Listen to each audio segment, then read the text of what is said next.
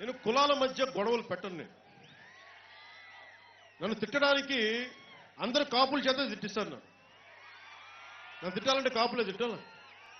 లేదంటే నన్ను కాపులకి బీసీలు గొడవలు బీసీల చేత తిట్టిస్తారు లేదంటే ఎస్సీ నాయకుల చేత తిట్టిస్తారు. జగన్ చాలా పిల్ల వేషాలు ఇవన్నీ నువ్వు చేసేది. అమెచ్యూరిష్ బిహేవియర్ కదా ఇది. మా చిన్నప్పుడు కూడా చేయలేదు ఇలాంటి. నేను వీటికి పడిపోతాను అనుకుంటున్నావా? నేను మనుషుల్ని తిట్టే వాళ్ళ కులాన్ని నేను చూడను. నన్ను ఒక ఎస్సీ ఎమ్మెల్యే తిట్టినా కాపు ఎమ్మెల్యే తిట్టినా లేదంటే బీసీసీ ఎమ్మెల్యే తిట్టినా నేను వ్యక్తినే చూస్తాను తప్ప వారి కులాన్ని చూడను. అందుకని నా దగ్గర ఇలాంటి పన్నాగా నా దగ్గర పని చేయు జగన్. కొంచెం నువ్వు మార్చుకోము కొంచెం మెచ్యూర్డ్గా కొంచెం ఆలోచించి కొంచెం ఎదుగు చెప్తాను. నీకెవరు మీ సలహాదారులు? ఎవరు ఇస్తున్నారు ఇలాంటి సలహాలన్నీ? ఈ చర్చ సలహాలు కొంచెం మార్చుకోండి సరే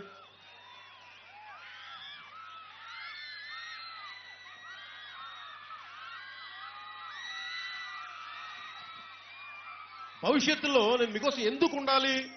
నెక్స్ట్ తరం యువతకు ఎందుకు ఉండాలని అని అడుగుతున్నానంటే నేను యువత మీలో నుంచి బలమైన నాయకులు రావాలి. నేను ఒక్కొక్క పది సంవత్సరాలు పనిచేస్తానేమో మన నేల కోసం. రెండు వేల నలభై ఏడుకి మిమ్మల్ని మీలో నుంచి ఇక్కడున్న ఆడప యువతుల్లో నుంచి సరి కొత్త తరం యువతుల్లో నుంచి యువతి యువకుల్లో నుంచి బలమైన నాయకత్వం రావాలని కోరుకునేవాడిని నేను. సో జనసేనకి చాలా మంది నాయకులు అండగా ఉంటామని వస్తా ఉంటే కూడా పెద్దవాళ్ళు సీనియర్లు నాకు తీసుకోవడానికి చాలా భయం. వీళ్ళు నిలబడతారా లేదా? మీరందరూ చాలా ప్రేమతో వస్తారు నా దగ్గరికి.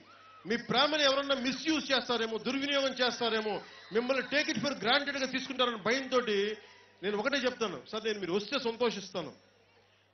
మనోహర్ గారిలాగా వచ్చారు. మ- మనోహర్ గారు ఒక రాష్ట్ర ఉమ్మడి రాష్ట్రానికి సభాపతిగా ఉండి రెండు వేల పదహారు పదిహేడులో పదహారు నుంచి ఆయన నాతో మాట్లాడుతూ ఆయన ఒకటే చెప్పేవాళ్ళు. ఏలొస్తే నాకు సంవత్సరం సమయం ఇవ్వండి. ఎందుకంటే మీరు చేస్తున్న ప్రయాణం నాకు చాలా బాగుంది కానీ నాకు కొంచెం సమయం కావాలి ప్రిపేర్ అవ్వడానికి. నేను మీరు ఓడిపోయిన రెండు వేల పంతొమ్మిది ఎన్నికలు మీ వెన్నంటి నిలబట్టడానికి నేను సంసిద్ధంగా ఉన్నాను. ఆ రోజున వచ్చిన రోజు నేను మీ పార్టీలో జాయిన్ అవుతానని చెప్పి ఓటమికి సంసిద్ధుడై వచ్చాడు మా మనోహర్ గారు. అలాంటి నాయకుల కోసం నేను ఎదురు చూస్తున్నాను జనసేన వేరే పార్టీలో నాయకులు కూడా మీ ఆకాంక్షల కోసం మీ ఆశయాల కోసం జనసేనల కోసం మనస్ఫూర్తిగా నేను గుండెలకు హత్తుకుని మరి తీసుకుంటాను.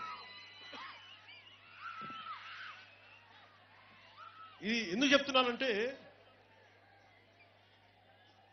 చరిత్రలో హిస్టరీ ఇండియన్ హిస్టరీలో పంతొమ్మిది వందల ఏడులో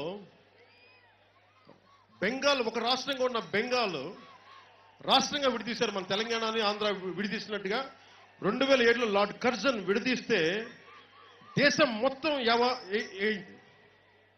దేశంలో ఉన్న సుభాష్ చంద్రబోస్ దగ్గర నుంచి అందరూ నాయకులు సు పటేల్ నెహ్రూ అందరూ ఏకమయ్యి బెంగాల్ డివిజన్ ఐదు సంవత్సరాల తర్వాత తిరిగి వెనక్కి తీసుకునేలా చేశారు.